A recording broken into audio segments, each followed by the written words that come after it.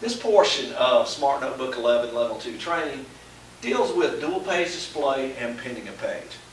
As you can see, this is a notebook file here. We only have one page that's being displayed right now.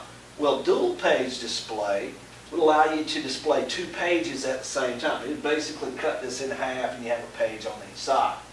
And then what pinning page does is it allows you to stick one page so it doesn't change while the other pages scroll through.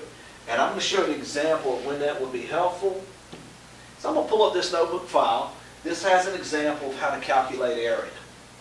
And then the other pages in the file are merely problem pages. So as you have students work this out, it would probably be nice to have these notes also appear on the side of the problem page. So dual page display would be great on this. So I'm going to change this to dual page display. I'm going to go to my display icon. I'm going to press that. I get a lot of options here. And I'm going to choose dual page display. So you'll see I've got a page here, and as I scroll through my pages, they move from right to left. So I press next page, here's another page, and so on. So it brings up my pages, but as you can see, the notes disappear. The notes don't stay on there.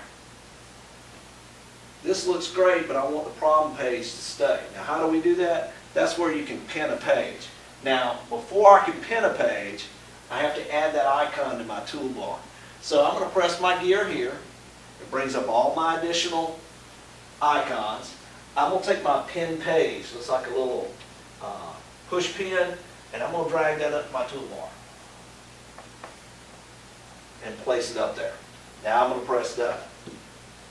And you'll see that when you have two, two pages appearing in dual page display, one will have a red outline around it. That is your active page. So if you're going to pin a page, make sure you make the page you want to pin your active page. So I'm going to press on my notes. It's got a red outline, and I'm going to go right to my pin icon. I'm going to press that, and you're going to see now it has two pins, and actually moved it over to the right side. Don't panic about that. You can scroll right through it. Um, you'll bring all your pages up. So my page of notes is going to stay now. So I'm going to press next page. I move to the next page. Here's my work area. I can look at my notes. I can calculate my area. This is 1, 2, 3, 4, 5 by 3. So I've got 5 times 3, and that equals 15 square meters. I place my pen down, move to the next problem.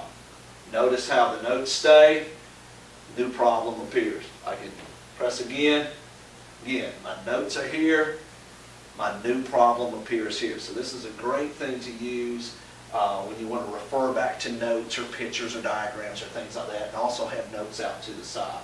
So it's very, very helpful. Now, once you pin a page, sometimes you want to unpin that page.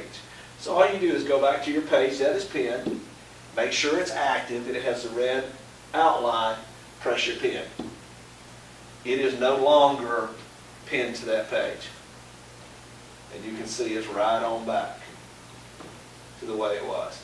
And if you want to go back to single page display, press your page display icon and change it back to single page display. So it's all kind of a simple process, but very, very useful for a lot of uh, uh, subjects that you're teaching. And this concludes our discussion on pinning pages and dual page display.